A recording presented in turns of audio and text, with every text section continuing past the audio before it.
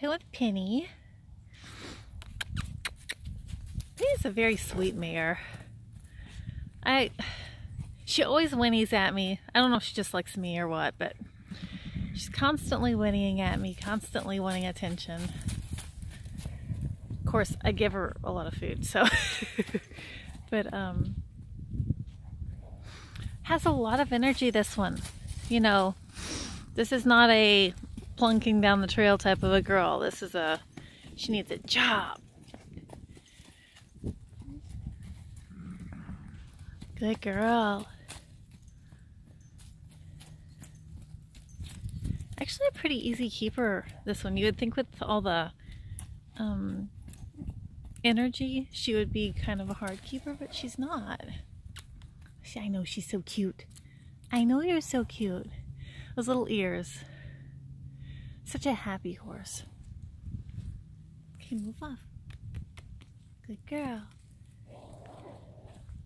She actually saddles very quietly. She stands to be saddled.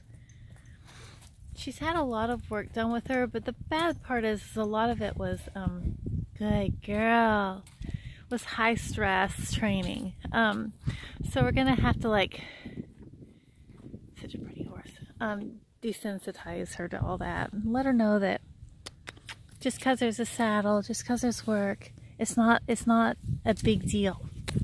Good girl. It doesn't have to be stressful. That's kind of what we try to instill here, is that it's a relationship.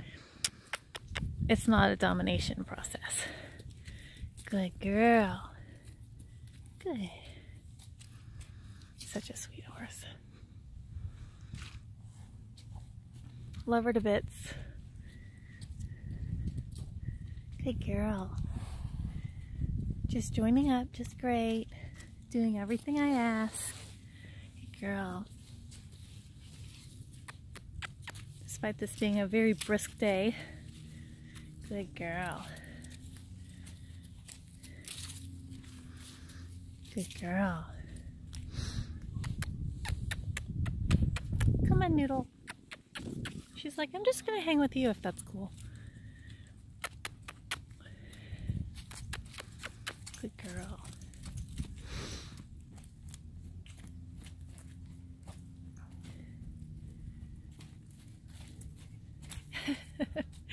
you ready for dinner? Okay. Say bye, Penny.